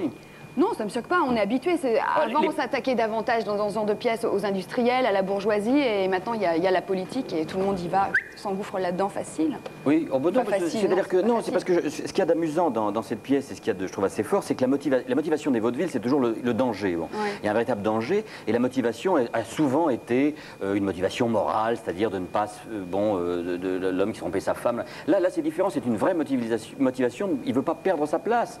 Il veut pas perdre le pouvoir. Et je trouve c'est une vraie bonne motivation. On a l'impression qu'ils sont Et vraiment on- accrochés à ça. On ne l'a pas vu et pour cause, puisque vous ne jouez qu'à partir du 26. Mhm. Mais euh, quand vous l'avez adapté avec euh, Jean-Marie Poiret, euh, je trouve que vous faites plus encore que fait d'autres. Les portes claquent à une vitesse, c'est injouable. Oui, oui, oui. Non, non, c'est- oui, c'est c'est- non, c'est très très drôle à, à répéter. J'espère que ça va être jouable en tout cas. Mais, mais, euh, si, ça va être jouable. Il y, a- une une partie. C'est une pièce très physique, ce sont des pièces de défouloir, c'est des pièces dans lesquelles on veut provoquer un rire irrépressible. Je crois que, bon, enfin j'espère en tout cas qu'on va y arriver. Et euh, ça, pour ça, il faut jouer dans un certain rythme. C'est pour ça que c'est actualisé par rapport à Fédo. C'est-à-dire qu'il a, il a renouvelé le genre, il a renouvelé la motivation, il a changé les personnages. Et puis, euh, c'est peut-être plus concentré, plus, plus fort, plus rapide euh, et probablement plus fou. Il y a une pièce dans, dans laquelle tout le monde s'engouffre. Une petite, une petite- un petit truc de Jackie avant, pardon. Oui, un appel de Madame Chazelle de Chaumont qui, qui dit Vous croyez que perdre sa femme, c'est pas une bonne motivation? Non, mais perdre sa femme, j'entends, euh, je parle, je parle, par exemple, si, si euh, enfin, je parle pas pour vous parce que c'est différent, vous êtes accroché comme une sangsue, mais euh, euh, vous voyez ce que je veux dire D'habitude, ce sont des histoires adultérines qui sont plus classiques, et que là, ce qui l'inquiète, c'est évidemment que sa femme soit au courant de cette nuit, euh, entre guillemets, illégitime, Mm. mais surtout que ça passe un problème au gouvernement et qu'à ce moment-là, ça entraîne des ennuis au gouvernement. Il perdrait sa place, ce serait dramatique. Et pourquoi les cocus sont-ils toujours idiots? Toujours Benet, le Franck, le, le- le mari de Madame Benamou. Oui, oui, parce oh, parce qu'il est coquin. Oh non, mais c'est pas, c'est pas un benet, c'est parce que non, non, il est très, très, très, il est pas benet, il est très triste. Oui. Donc comme il est très triste et extrêmement violent parce qu'il est très agressé, bon bah il, il est, il est comme toutes les personnes à qui Et- ça arrive, et- et euh, vous, pas dans vous une de la meilleure forme et pas le plus intelligent. Vous, n'êtes- sous- pas le ministre. Non, pas du tout. Moi, je, je suis le, je suis le, son secrétaire. Son, je suis dévoué à ce type-là corps et âme. Je me suis engagé en politique Bah, par conviction et on me fait tomber le, le, le barda d'en- d'en- d'ennui. Justement, pourquoi est-ce que vous avez choisi le rôle euh, du souffre-douleur Mais parce que quand j'ai vu la pièce, j'ai eu envie de jouer ce personnage-là. Je, je pensais que c'était plus mon emploi de jouer ce personnage-là. Euh, m- moi, un homme de pouvoir qu'un homme qui sert quelqu'un de pouvoir. Et vous, en revanche, vous êtes complètement bené, vous appelez votre maman, vous n'avez pas le droit de sortir le Je soir. vais chez ma mère, ce vous- n'est pas être bené. Il s'occupe de Mais sa non, mère qui non. est un peu âgée, un peu fatiguée, je vous en prie. Mais dès que vous non, rentrez mais pas, attendez, il faut vous êtes un peu bené, vous vous occupez pas de votre mère, Si, mais je Bon. l'appelle pas dès que je rentre pas à la maison. Et Et, vous vous vous rentrez pas transformez, souvent à la maison transformez en bête de sexe après, à la fin. Non, mais il y a un retournement dans le personnage, oui. oui, il, y a- il y a- il faut toujours se méfier de l'eau qui dort. Ouais, Oui. tout à fait. Et, et- et Tu comprends, chérie c'est- la première fois que dans, dans un vaudeville euh, comme ça, Hum. on voit un, un- un mort. Et vous jouez avec le mort tout du long. Il y a Oui. le corps qui se promène de- d'une porte à l'autre, c'est- d'un placard à l'autre. Moi, j'ai trouvé ça, avec- on a trouvé ça avec Jean-Marie Poiret extrêmement gonflé quand on l'a vu. euh, euh, alors, le- bon, il y a, y a une. Il pèse combien le mort? Ah bah, il pèse lourd. Hein. Mais parce que vous vous le prenez à bout de bras, vous, Oui, oui. vraiment vous avez un mort sur les bras. Oui, oui, oui, mais enfin, vous savez, j'ai fait quand même un peu de Vous avez fait musculation. j'ai- l'air comme ça, mais je veux Oui, dire, bon, je suis pas loin de la taille de Gidane, mais je suis beaucoup plus musclé. En hein. fait, vous êtes euh, très physique. euh, je suis assez physique. faux. Pourquoi Parce que vous dites que c'est une tour infernale du comique. Parce que, parce que les rapports sont extraordinairement violents. Voilà. C'est une tour infernale du comique. C'est pour ça dire, c'est, euh, on, pla- on- on plaisante, c'est fou, mais enfin bon. Je, veux dire que c'est- vrai que c'est physique ces pièces-là parce que les, rapports des personnages, quand ils sont en danger, c'est une situation extraordinaire. Il n'y a pas de quotidien, il n'y a pas de psychologie, mais il y a des archétypes. Et comme ils sont en danger et qu'ils risquent beaucoup, alors à ce moment-là, ils sont sans pitié les uns par rapport aux autres. Donc c'est pour ça que je compare à ça à des Moi, ça situations m'intéresse de, de recevoir dans un instant, juste après les Guignols, on va recevoir l'Artigot, qui fait le ministre, et puis euh, Pierre Mondy, le metteur en Ah, scène. là, ouais. C'est- Je voudrais bien savoir comment vous pouvez faire pour jouer quelque chose que vous avez écrit sans qu'il y ait plus de deux lignes avec une entrée inattendue qui fout la merde, quoi. Oui, mais, on, on est là pour divertir. Faut pas que les gens. Moi, il y a une chose que je ne peux pas supporter au théâtre, c'est l'ennui. Je trouve que on- il nous arrive à tous de voir des films qui nous plaisent plus ou moins. On supporte ça au cinéma. Un film médiocre, ça se supporte. Une pièce qui vous ennuie, moi, c'est. Je trouve que les secondes sont épaisses. Hein, on a mal aux pieds, on est mal assis, on n'est pas bien. Alors, il faut vraiment qu'il se passe des choses sans Ah bah, arrêt. ça va vite, Et hein. c'est pour ça que j'aime le comique de situation. Est-ce que PPD pas. a passé de bonnes vacances? Excellente, et je ne regrette pas d'être venu, car elle est bien fichue, votre nouvelle formule. hein. J'aime bien la rousse de Bonaldi aussi. Eh, vous allez faire votre petit numéro avec les Guignols, dont c'est la rentrée, bien entendu, et puis aussitôt après, on retrouvera Panico Plaza.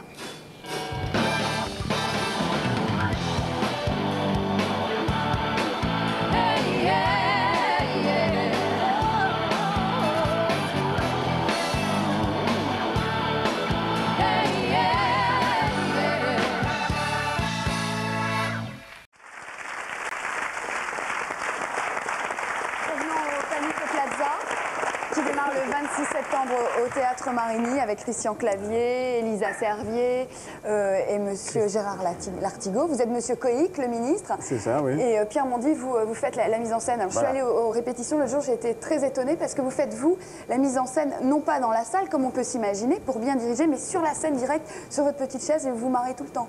Vous êtes heureux, hein Oh, il se lève de la chaise, hein, quand Il même. se lève, oui, il se lève. Non, mais je tiens à étonnant. dire qu'il se lève de la chaise, on a Non, mais- l'impression qu'il est dans une espèce de fauteuil roulant. Non, non, il n'est pas complètement Non, là, là, je vous arrête tout de suite, mais... euh, Non, mais c'est étonnant de faire ça de- depuis la scène, Ah oui, pas il est dans les fauteuils. Il est avec nous, au milieu de nous. Ouais. Non, mais écoutez, c'est- très, très, très simple. Euh, je- je- J'entendais, je, je regardais Christian, et euh, avant, il- c'est très, très, très, très physique. Il est absolument impossible d'être derrière une table et de dire tu fais ça, tu fais ça, toi tu passes ça. toi, tu fais- C'est absolument impossible. Ouais. Bon, en plus, là, je suis, euh, disons, l'acteur, et tout- tous les metteurs en scène, acteurs, indiquent en, en- en mon- en montrant. Ça fait combien, combien de fois, Pierre, que vous dirigez que vous, oui, Christian, vous mettez, la cinquième non, fois. La cinquième fois pour Christian, et que vous mettez en scène euh, du Rikuni Rikuni, euh, c'est la quatrième. Et vous l'avez même joué J'ai joué, en- après-midi. J'ai joué Ray, hein. euh, double mixte, euh, trois partout. Oui. Euh, c'est encore bien Donc après-midi. c'est pour ça qu'il est mieux monté sur la scène. Oui, oui, oui, non mais euh, euh, on ne peut pas faire autrement de toute façon. hein. Gérard Lartigot, vous vous êtes habitué d'habitude à, à des choses un petit peu cl- plus classiques, des trucs Comment légers un peu Non, moins. non, j'ai si, fait il avait déjà- fait Oscar qui était vachement léger. Bah, Oscar, Non, c'était aussi un qu'on avait fait Non, avec... non, non, non, mais oui, c'est léger aussi Ouais. justement, donc c'est notre façon de travailler.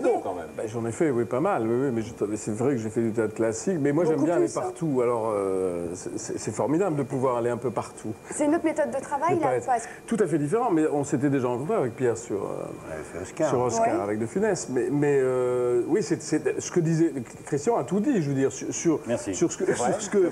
Merci. représente ce théâtre d'énergie. De, de- Alors c'est jubilatoire, parce que c'est vrai qu'on ne peut pas. Quelquefois, Pierre nous dit restez, vous vous fatiguez pas, restez dans les marques. Mais au bout de trois répliques, on est embarqué. Mm. On est complètement embarqué par les situations. Euh, Avant de regarder le, le premier jour des répétitions, hein, où vous aviez encore le texte à la main, une question seulement. Quand on a du texte écrit comme ça en dentelle, hein, où pas plus de deux lignes, sans qu'aussitôt il y ait un événement extérieur, hein, une porte qui s'ouvre, une autre qui se ferme, c'est effrayant. Comment on fait Et surtout des situations d'usurpation d'identité. C'est grand quelqu'un qui ne doit pas rentrer. Parce que ça, si la porte s'ouvrait, simplement elle s'ouvre, et évidemment arrive une tuile, sinon c'est pas amusant. Mais c'est pas craquant d'avoir tout le temps un truc comme ça qui arrive de partout, les téléphones qui pour. sonnent. C'est très, très amusant. Mais, pour. mais jamais les comédiens sinon vous virez craquent. l'adaptateur. non. On Mais regarde- que- comment, comment vous faites pour, pour mémoriser sans vous gourer Comment vous faites pour répéter les textes les euh, textes? Philippe, ça s'appelle euh, ça s'appelle répétition. Oui, c'est fait pour ça. on, on peut apprendre à ne pas sauter Ça, deux s- lignes. ça s'apprend, ça s'appelle répétition. Ils apprennent- J'ai- entendu un jour quelque chose de, de, de formidable d'un- d'un acteur de, de vaudeville, comme ça, en anglais. Euh, Mais là-bas, ils appellent la une répétition, c'est rehearsal, c'est répétition.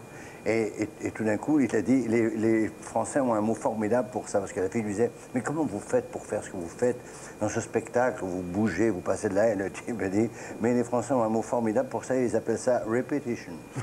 Mais vous apprenez les textes avant, il y a du travail qui se fait en amont avant et les répète après? Écoutez, moi je vais vous dire, c'est- très très très simple. hein. Euh, Christian et Jean-Marie ont adapté cette pièce. Jean-Marie devait la mettre en scène. Donc quand, quand- euh, Jean-Marie Poiret, bien entendu. Et donc moi je suis arrivé, le cheval était scellé, pratiquement. Donc Gérard, par bonheur, avec des acteurs avec qui je vais Déjà à travaillé. des occasions différentes. 10, on essayera tout à l'heure. Il il troupe. travailler. Je n'ai eu pas l'ombre d'une hésitation. Je leur ai dit à tous les deux tout de suite, oui, non pas parce que c'était euh, Ricouni, mais parce que c'était Christian dans ce rôle de souffre-douleur, parce que c'était Gérard qui échappe à une petite vision de l'homme politique, euh, Troisième République, parce que son personnage physique et, et la façon qu'il a de jouer ce genre de rôle est moderne. Le fait qu'on soit branché sur une, une actualité euh, qui, qui est celle, effectivement, d'un ministre du gouvernement. Là, il tout ne fait ça pas ministre dans cette tenue pour non, nous Vous non, il est, il est très il chic est- et il très est- classe, il est- il est Gérard très, très, Thibault, très hein. chic. Oui. Il est On, très, on- très, on très va voir un petit extrait avant de voir l'extrait, on resitue. C'était le 18 août, c'était les premières répétitions. Oh vous Dieu, êtes, vous vous êtes avec votre maîtresse dans la panade, vous avez votre maîtresse sur le dos et également Et la brochure à la main. Et le texte en costume. Et le hein, texte, n'est pas en en c'est le premier costume. jour. On regarde. Euh, Monsieur Coïc, dites-moi franchement ce qui se passe. Vous allez bénéficier d'une gratuite dans un palace 5 étoiles, mon vieux, c'est sympa, non Et tu, tu passes pour un problème. Vous allez bénéficier d'une gratuite dans un palace 5 étoiles, mon vieux, sympa, non en, en principe, si je découche, je préviens toujours ma mère.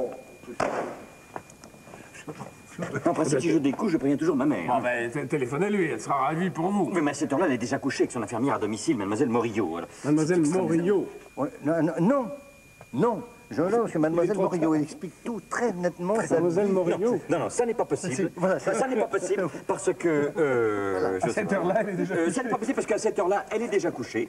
Et, euh, Un moment, et voilà. voilà. Et je, je ne peux pas disposer de mademoiselle Morillo d'une façon aussi grossière. C'est parfait. En, en plus, maman se fait un sang d'encre chaque fois que par malheur, je change mon planning à la dernière minute. Voilà, c'est ça, c'est ça. Votre mère se fait un son d'encre depuis qu'elle est née, mon vieux, alors ça va bien, hein Écoute-moi, je crois qu'il fait. Votre mère se fait un son d'encre depuis, Depuis que qu'elle est êtes hein. Vous êtes une merde, son d'encre à votre propos.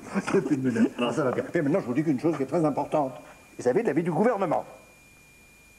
Gé- Gérard Lartigot, euh, dans cette pièce, vous êtes donc euh, le ministre, vous êtes Monsieur Quick et vous êtes très souvent au téléphone. Qu'est-ce qu'il y a dans le téléphone Philippe Coïc.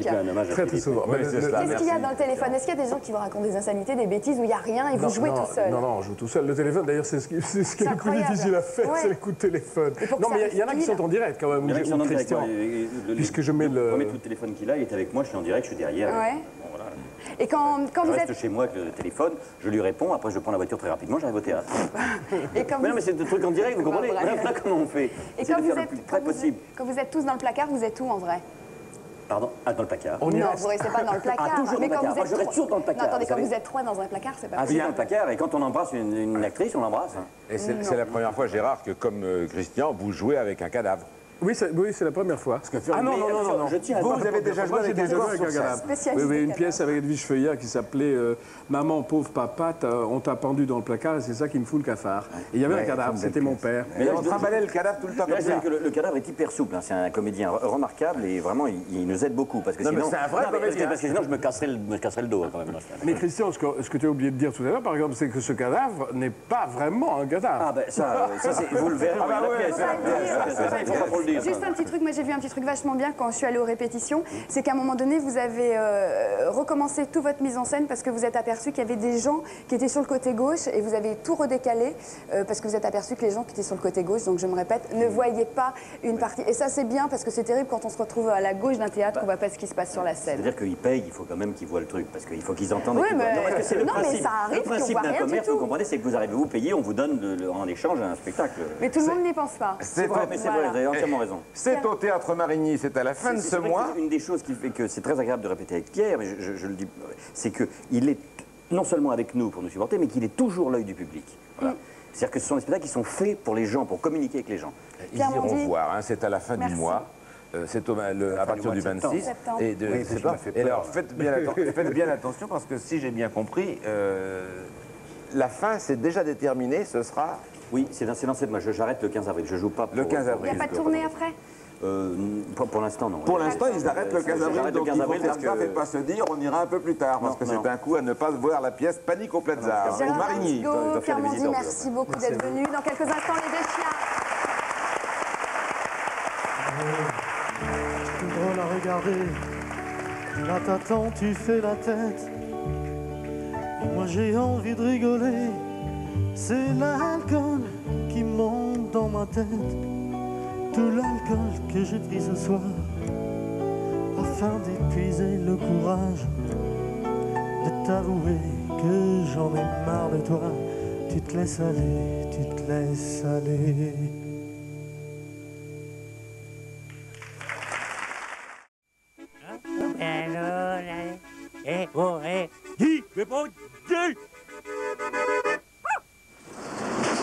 Mon filleul, ça, hein? Hein? Dis. T'es pas très costaud, toi, hein? T'es mon filleul, t'es mon filleul, t'es mon filleul. Hein, t'es le parrain, t'es le parrain, t'es le parrain. Fais béco. Me fais béco. Fais béco, fais béco, fais béco.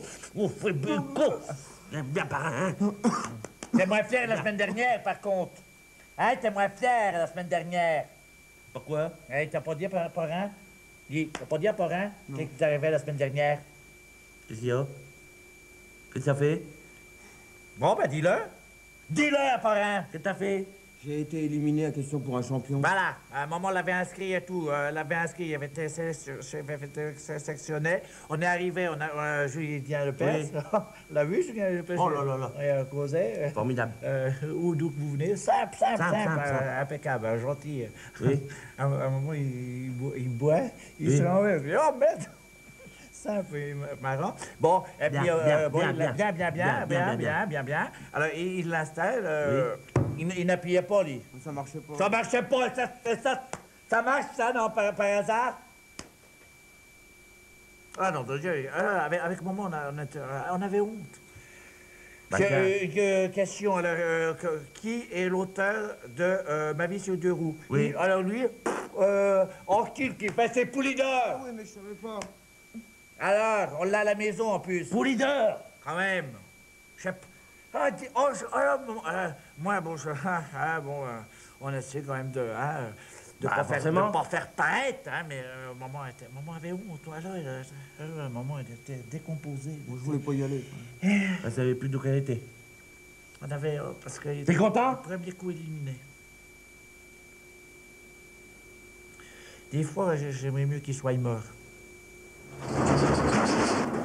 Wow Bah alors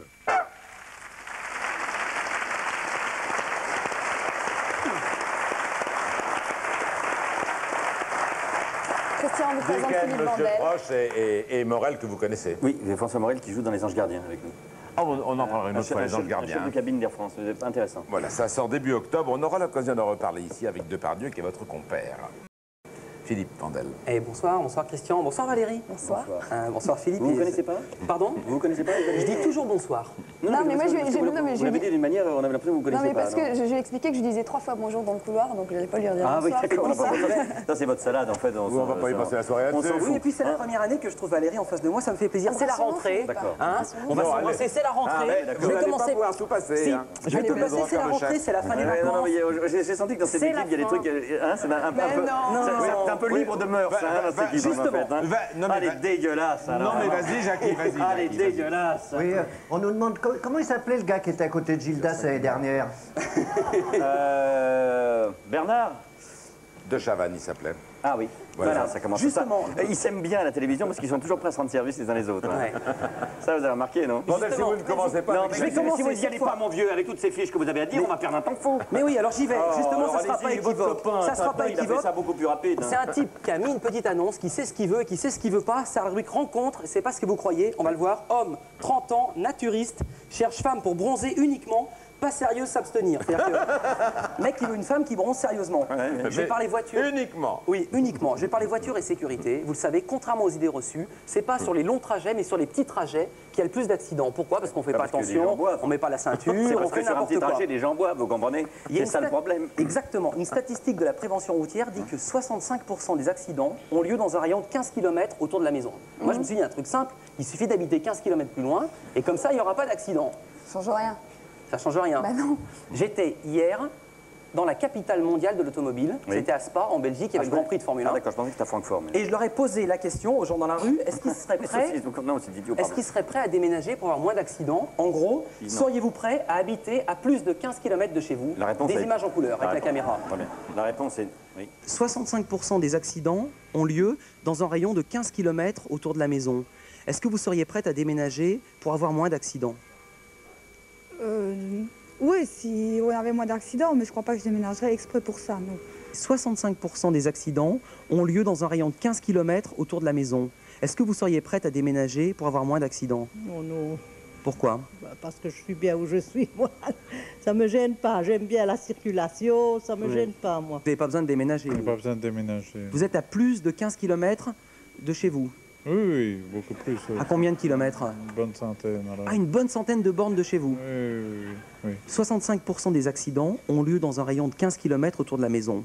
Est-ce que vous seriez prêt à déménager pour avoir moins d'accidents? Bon, évidemment, ça, hein Oui. Vous pourriez déménager jusqu'où? Ben, jusque 5 km plus loin, par exemple. C'est 15 km la statistique. 15 Oui. Ben, si je, si je, je prolonge de 5 km, je suis à 20 km à l'heure. Ah non, à 10. Voilà, je, je suis hors de... ben, je suis toujours dans la province de Liège. Ah oui, vous restez dans la province de Liège, oui. Ça, ça ne pose pas de problème. Est-ce que vous seriez prêt à habiter plus loin pour avoir moins d'accidents? Ah oui, certain. Pour quelle raison, monsieur? Sécurité, rien d'autre. La sécurité avant tout, Avant. même si c'est plus loin de chez vous. Oui, oui, ça n'a pas d'importance, ça 5, 5 ou 10 km, qu'est-ce que c'est? C'est 15 km la statistique. hein. Oui, mais 15 km plus 5, 5 ou 10 km plus loin. D'accord, donc au moins à 20 à 25 km de chez vous, vous habiteriez. Ah oui, c'est rien ça aujourd'hui. Aucun trucage. J'espère. Aucun trucage. C'est des, des gens qui essayent de.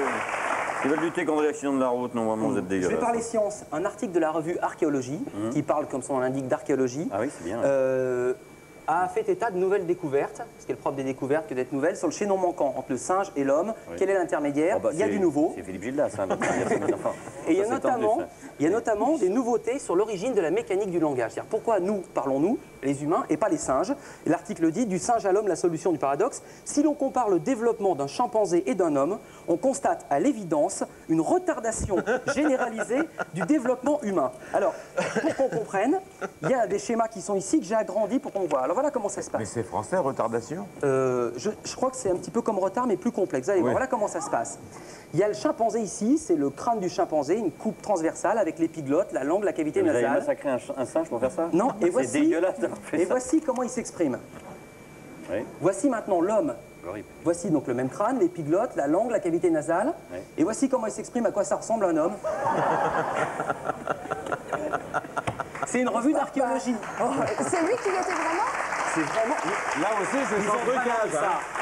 Non, mais il faut dire que c'était bien la photo de papa. Oui, non, voilà, c'est ça. Voilà. Je l'ai agrandi. dégueulasse. Ils auraient au moins pu mettre le directeur de la revue, quoi. Puis Ouais, j'ai ouais. une dernière chose, vous parlez allemand Non, pas du tout. Vous avez envie évidemment de parler allemand, de faire Non, des pas progrès. du tout, pas du Euh, tout, pas du justement, ça- pour vous, un dictionnaire franco-allemand, le Lagenscheidt Non, mais- Wörterbuch. Mais j'y tiens pas. hein, C'est pour euh, vous. Toutes merci, les vous nuances de la langue française et allemande sont exprimées. Non, mais- 380 000 D'accord. mots. Parce que je n'y tiens pas particulièrement. Hein mais enfin, bon, d'accord, merci. Avec merci quelques infiniment. nuances. Je le donnerai à des amis donc qui parleront allemand ou machin. Et qui vont vous prendre- vous Non, pas du Vous avez tout. été professeur de quoi de, Oui. de- Pas de- pas de- Une page au hasard. De flamand, maman. Et de flamand. Une page au hasard, on va la voir. Tellement, par exemple. Couplet. Non, attends. Vous Alors, avez une bonne soirée on va essayer de la mettre. Juste une page au hasard, il y a couplet, chanson, coupon, coupon, cours, faire la cour, et il y a surtout courage. Courage avec un bon exemple, avoir des couilles au cul. Je vous avais dit, vous avais dit qu'il allait avoir une nuance. Là, là, là, là, ça devient élégant comme émission. ouais. Ça devient élégant comme émission. On, on s'arrête- on s'arrête là dans une minute, les Foo Fighters pour leur unique télé Ah, mais européenne. comment ça, on s'arrête là Il y a de la musique la après. Alors